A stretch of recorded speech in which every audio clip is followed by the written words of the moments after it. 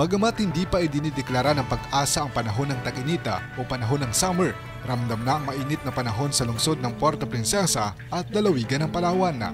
Dahil dito, marami ang naghahanap ng lugar na mapupuntahan na, na maaari makapagbabada at maligo. Sa underground river ng Puerto Princesa Kaya naman sa mga ligong-ligo na sa dagat, makirides na sa ating biyahe at sama-sama nating tuklasin at bisitahin ang mga magaganang pasyalan sa west coast ng Puerto Princesa. Isa na riyan ang Magura Beach sa Barangay Bagumbayan, Puerto Princesa City. Biyahe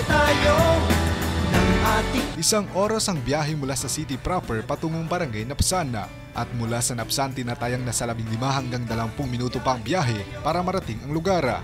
Sulit naman ang mahabang road trip dahil mamamangha ka sa mahabang white sand beach at sa malakristal na kulay ng dagat. So guys, dito na nga tayo sa Magura Beach. So, sa barangay Bagong Bayan, kakarating lang natin ilang uh, minuto pa lang. Uh, hindi pa tayo nakakapagbihis.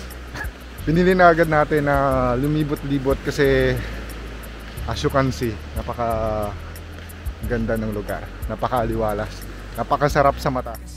Sakto ang lugar para sa mga nais magtanggal ng stress maging sa family bonding dahil maaliwalas at tahimik ang pasyalan. Tayo Syempre, masusulit mo rin ang pagkuha ng larawan sa mga magagandang spots at sa mga rock formation. Mga kabandera, mayroong spot dito sa Magura Beach na pwede nating puntahan. Yung pinagsamang rock formation at itong mga seagrass ay napakaganda ho tignan. Kaya naman, tsak na tsak ako na napakaswak din ho ito para sa mga gustong makakuha ng mga magagandang picture. At syempre, huwag nyo na rin hong papalagpasin na maligo sa area na to dahil napakalinis at napakalinaw ho ng dagat. Huwag mo rin papalagpasin ang paglalakad at paglibot sa kanilang puti at pinungbuhangin, maging ang paliligo sa kanilang malamiga at malinis na tubig dagat. Alam mo, marami nagtatanong sa inyo kung gaano nga ba kaganda yung dagat dito sa Magura Beach. Kaya yun yung titingnan natin.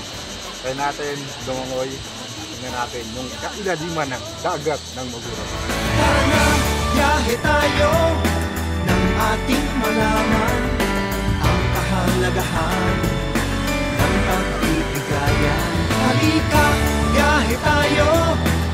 Sa hindi naman kalayuan at bahagi pa rin ng beach ay may matatagpuan na munting ilog na maaari ring maligo at magbanlaw. Pag napunta kayo dito ng Magura Beach, huwag niyong papalagpasin ng makaligo dito sa mumunting ilog na ito. Oh, nalabig ako. Biyahe tayo may kapalit pa sa.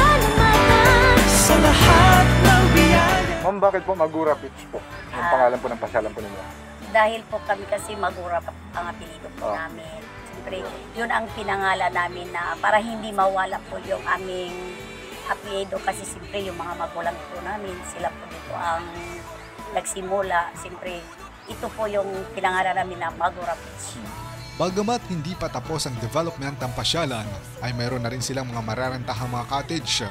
Sa mga nais naman mag-overnight ay may mga mararentahan ding mga kwarto at mga tent. Habang sa halagang 20 pesos ay maaari mo nang ma-enjoy at ma-experience ang lahat ng aktibidad sa beach. Maganda siya. Tapos sa taas, mapirik ang bundok. Hmm, Ang malinis. opo. Kaya siya. Oo. Taga saan po kayo, ma'am?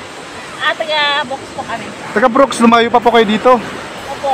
Mm-hmm. Opo. para makapunta lang dito. Ah, maganda po. At Mm. saka, ngayon lang po kami nakawarating dito kasi sabi ko nila maganda. Pong maka-unwind at ma-relax, ah, punta po kayo sa Magora Beach. Maganda po dito. Samantala, hinihikayat naman ang mga guests na magpabook muna ng tour bago magtungo sa pasyalan na upang maiwasan ang posibleng pagdagsa ng mga bisita.